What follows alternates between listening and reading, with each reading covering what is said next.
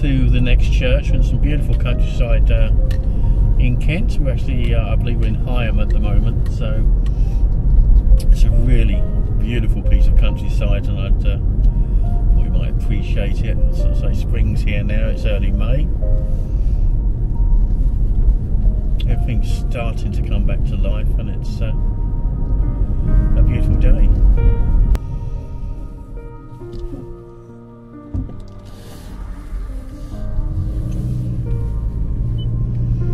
Quite a bit of traffic around today.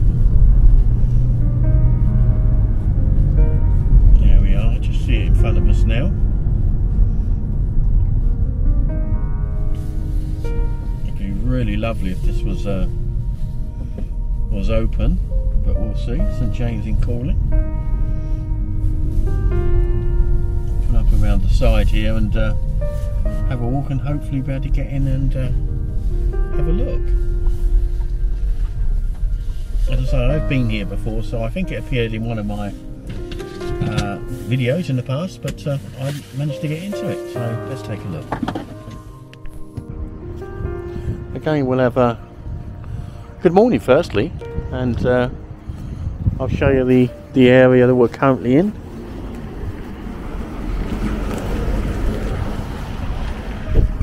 See there, it's all farmland. And a beautiful little uh, converted barn on the opposite side.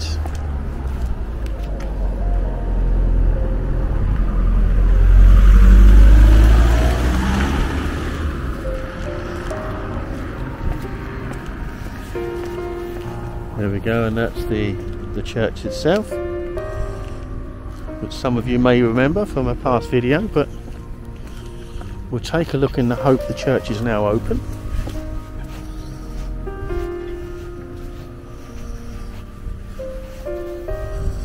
So that's the uh, the spire on the front elevation as you walk into the church itself.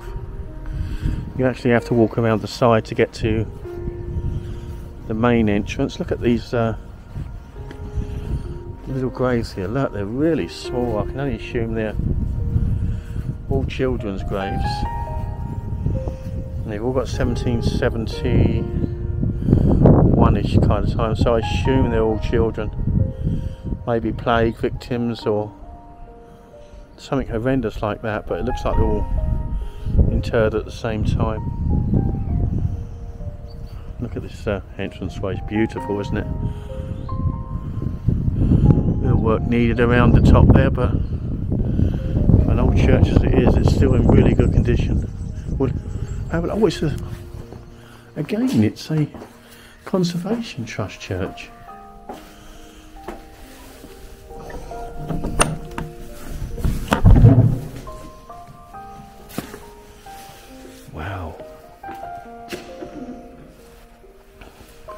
Door's not as uh, ornate beautiful, not as ornate as uh, some I've seen in the past. But the church itself is exquisite. Look at that uh, stained glass there and the the tower itself. You can make out some old beams that are there, some really old oak beams. Not sure where they've come from. Just leaned up against the wall. Wow, look at that old door there. Look. The way it's sitting, it's uh, so naively made, but it's still there. A big lock. It's obviously been uh, picked up at some point in time, but this door is absolutely gorgeous. It's really, really old and gnarly. Look at it's beautiful. Coat of arms up there, beautiful picture.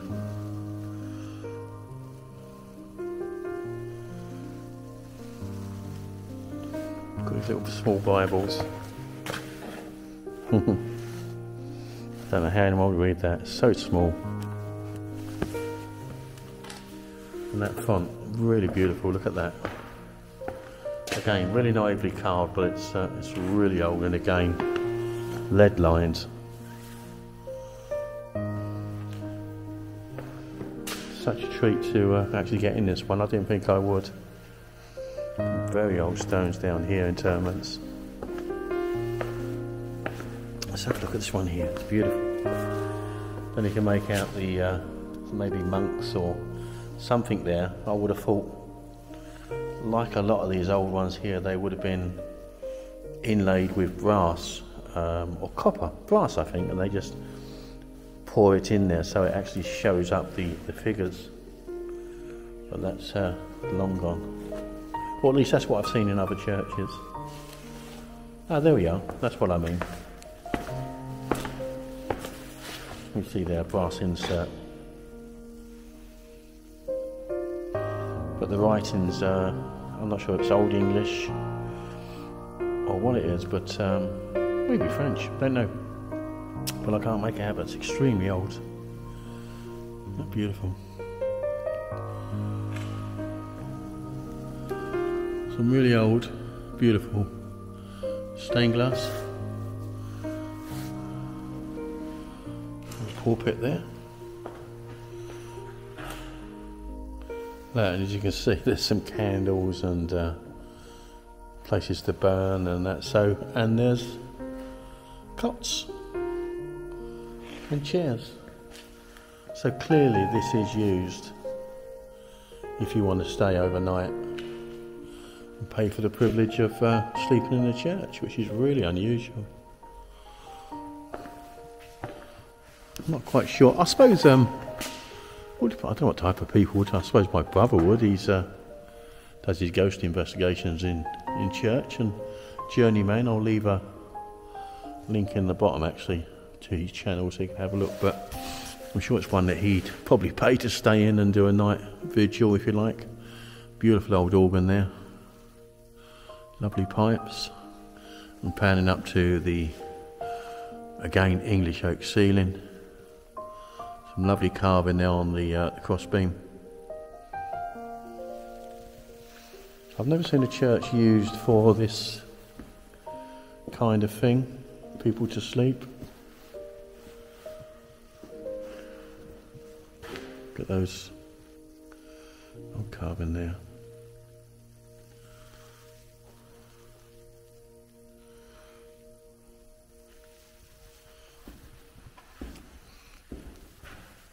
Those. Quite grand, aren't they, these, uh, these cutouts there?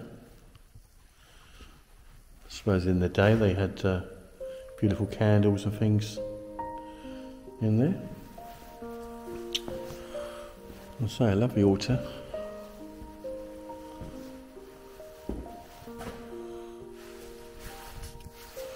Again, a really beautiful, vivid stained glass window.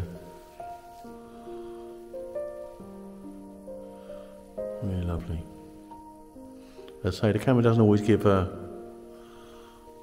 the best impression of these windows. I mean, the colours are so vivid, vibrant, but you don't always see it. Again, some really old chairs there. Quite beautiful.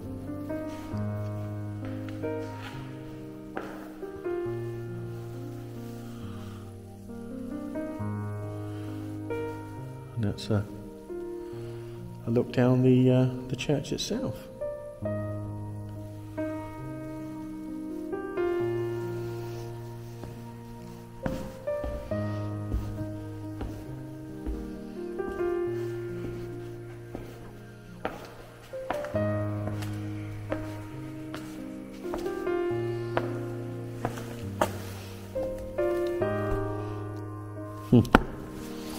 Champing information on arrival back. So they call this champing, I suppose church camping and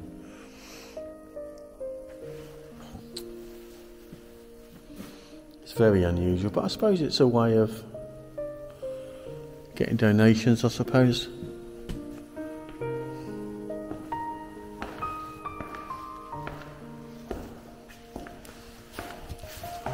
But in a way, it's, uh, I don't know not overly keen on the idea. It's such a beautiful church, and it really should be, you know, brought back to its former glory and just uh, use of people to appreciate the space, basically, and just enjoy.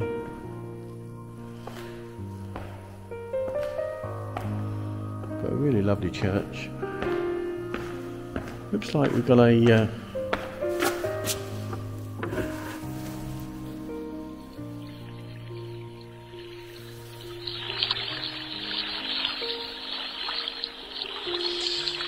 Ours was the marsh country, down by the river.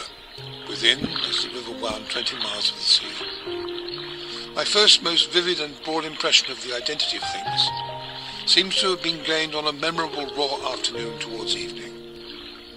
At such a time, I found out for certain that this bleak place, overgrown with nettles, was the churchyard, and that Philip Pirrip, late of this parish, and also Georgiana, There we go. A, you pick it up, it says an extract from Great Expectations, 1861. So I suppose it's something to listen to if you come here.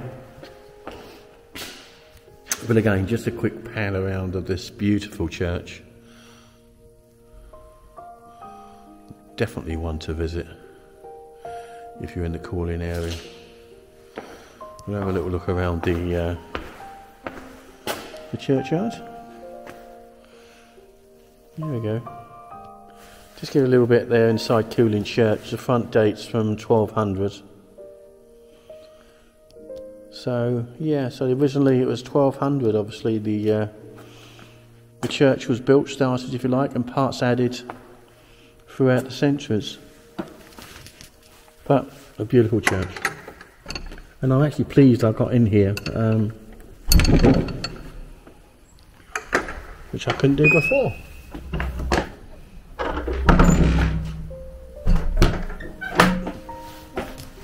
Lovely day.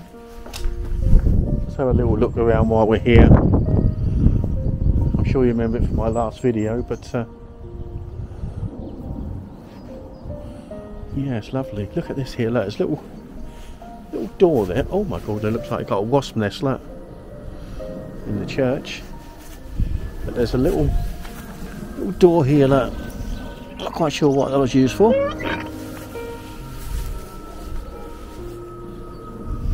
Look at that, as you see there, look, beautiful Kent countryside there.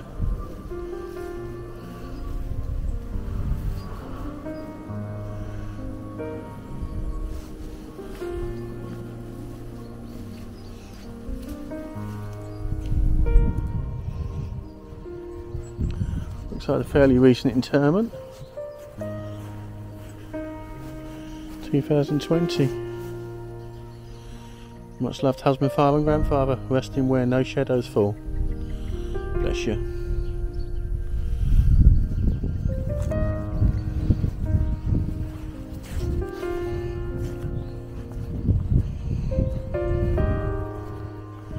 Then you can make out in the distance there, it's the it's transport of ships, so it's a. I'm not sure what dock set is over there, whether it's Gravesend or something, but you can see them slowly going up that estuary there.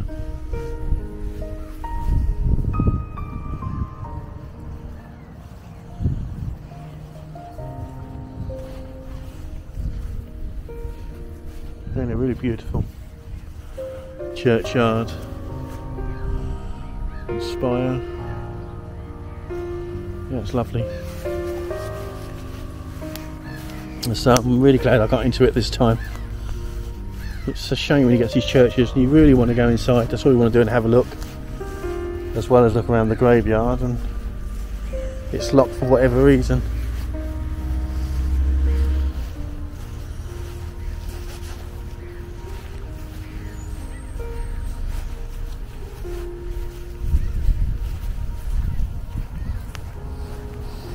Beautiful smell of these uh, wildflowers and daffs with a few tulips appearing as well. It's lovely. Look at the colour over on those graves. So beautiful.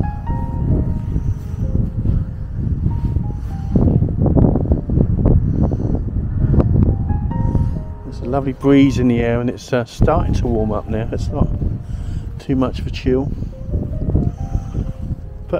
that was that. That was the uh, the churchyard in Cooling that I wanted to see and I have now. So I hope you enjoyed. Look around this beautiful church. Thanks again for joining me, and I hope you join me on the next one. You have a lovely day. See you again. Goodbye.